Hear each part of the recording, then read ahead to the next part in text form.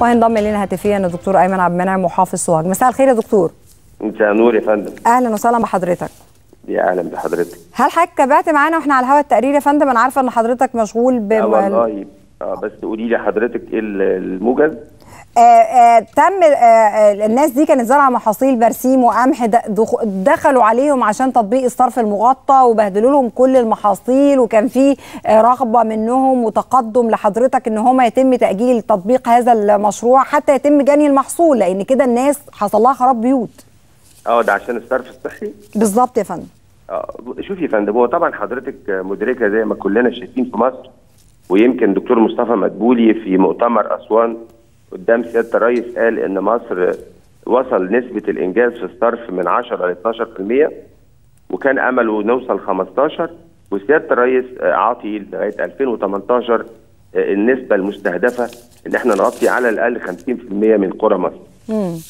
ده شيء طبيعي الصعيد جزء من الجمهورية بنلاقي صعوبة جدا الحقيقة إن حضرتك توفري أرض عشان تعملي محطات وفي مشاريع كانت موجودة عندنا في سوهاج بمنح إماراتية وتوقفت ودي ملهاش في خطة الدولة بناء عليه إحنا الحقيقة سعينا في القرض بتاع البنك الدولي مع دكتورة سحر نصر ودكتور طارق أبيل والمهندس طارق أبيل وزير التنمية المحلية لغاية لما قدرنا نحصل على هذا القرض 280 مليون دولار بما فيه تغطية 11 قرية كاملة كانت المنحة دخلت فيها وتوقفت. مم. هناك بعض القرى اللي هي داخلة في خطة الدولة زي ساقولتا كده. ساقولتا ما فيهاش أرض، الأرض اللي هناخدها في الصوامعه دي على الحدود ما بين اخميم وساقولتا 30 فدان. آه، سبب الكلام ده بقاله فترة الحقيقة وسبب تقاعس الأهالي في تسليم الأرض كانت العملية مخصص لها حوالي 35 40 مليون النهارده هتوصل لحوالي 75 مليون. مم. أنا عاوز أهلنا يبصوا إن في مصلحة عامة. طبعا. لما لما اغطي آه، مدينة ساقولتا وكل مراكزها وكمان الصوامعه بجزء من أخميم صرف صحي أنا بمنع مشاكل كتيرة وبعمل أنا مع حضرتك يا فندم ومشكلة الصرف الصحي دي مشكلة في غاية الأهمية وبتواجهنا خاصة في الصعيد.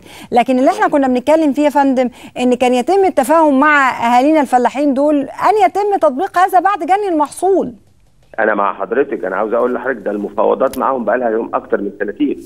من سنتين؟ اللي بيقعد آه طبعا محصول اللي بيقعد سنتين. يعني ال- التفاوض إحنا معاهم.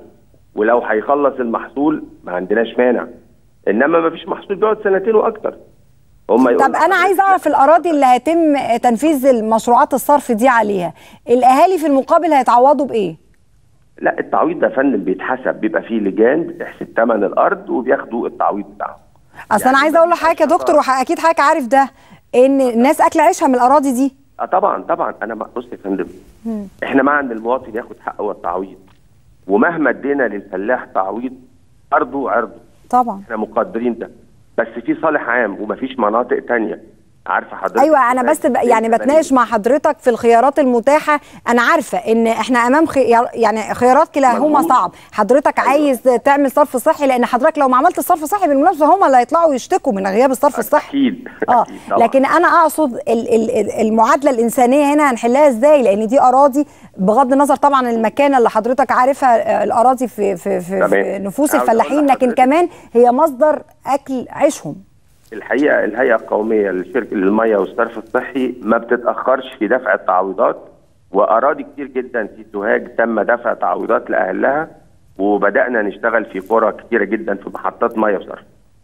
فصدقيني المشكلة ليس في التعويض اساسيه أنا عارف إن صعب إن إحنا آه، أرض تتعمل صرف ولكن الهيئة على وعارف حضرتك يا فندم الشعور تخيل إن حضرتك تزرع أرض وتبقى بدأت تطلع المحصول كده وتشوفه وتلاقي جرارات دخلت طبعاً، يعني طبعاً، طبعاً. مشهد أنا قاسي. جدا مع حضرتك ما هو قاسي بس المحصول بيخلص إمتى؟ ما هو دي مشكلة. المحصول بيقعد سنتين وأكتر معناه إن في نية مش عاوزين يسلموا. وفي ممانعة ولكن أنا مع إن لو في يخلص أنا مع ان في تعويض يدفع لهم بالظبط احترام المواطن. ده, ده أنا مع طب هل تم الرجوع لحضرتك في القرار ده قبل تنفيذه بهذه الصورة؟ لا الحقيقة كانت الهيئة القومية آه، رست العملية على مقاول والمقاول راح يستلم الأرض. ولما حصل كده قلت لهم طب استنوا لما يخلصوا ويتعمل قعدة ثانية مع أهلنا ونشوف إيه المطلوب. طيب ده كلام تاني بقى نسمعه من حضرتك دلوقتي. يعني حضرتك القرار اللي توصلت ليه؟ إن يتم إيقاف هذه العمليات الآن إلى أن يتم جني المحاصيل ثم بعد ذلك هتبقى في مفاوضات بين حضرتك وبينهم. بالتعويضات. بين الهيئة القومية طبعا والوحدة المحلية. يعني إحنا مش مع أنت عارف حضرتك طبعا إحنا ملناش مصلحة إن مواطن يتأثر بالعكس إحنا كلنا جايين نخدم المواطن. بس الصالح العام اللي بيخلينا نضطر لكده إنما أنا مع التعويض ومع احترام أي زرعه الفلاح اعملها لغاية لما يجني محصوله وده شيء بيساعدنا ما بيزعلناش يعني. طيب يا فندم خلال الساعات القادمة يتم التواصل مع اهالينا دول وصرف التعويضات المناسبة لهم والتفاوض بشأن المرحلة التالية لتطبيق الصرف؟ إن شاء الله بإذن الله إن شاء الله طيب يا دكتور اسمح لي حضرتك إن إحنا نتابع معاك هذا الأمر أنا مدركة الخيارات المحدودة للغاية اللي حضرتك أو يعني كل المسؤولين بيتحركوا فيها يعني أعمل صرف صحي ولا طبعا خيارات صعبة لكن عايزين نحلها بأقل قدر ممكن من الخسائر. قوي قوي إن شاء الله يا فندم. ده أهلنا طبعا. ما هو اللي هيتعمل له الصرف أهلنا والأرض بتاعت أهلنا. الوضع صعب جدا ومعاناة الفلاح يعني ربنا سبحانه وتعالى اللي عالم بيه يعني بيشتغل في وضع صعب. حضرتك على تقدير الموقف وبقول لأهلنا إحنا مش جايين لطرف ثاني ولكن الموضوع عاوز توازن ما بين الأطراف. وإحنا مع صرف التعويض وانتظار المحصول. ده شيء ما يزعلناش ابدا.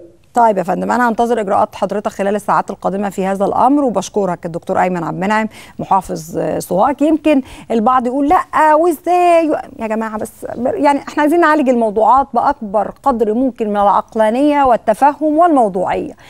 الصرف الصحي مسألة في غاية الأهمية لأهالينا دول بس في نفس الوقت أنا أحط نفسي مكان فلاح بيتم تدمير محصوله بهذه الطريقة. انت كأنك بتمسك قلبه كده وتعصره. قلم يعني في مشهد صعب. لكن عايزين كلنا نتعاون و مش عارف يعني في أوضاع صعبة. أنا بقول لحضراتكم إدارة الكثير من المشاكل ليست مسألة سهلة على الإطلاق واللي أحيانا يقول لك لا دي سهلة وتتعمل مفيش كده. مفيش كده. التعامل مع مشاكل الناس مسألة في غاية التعقيد.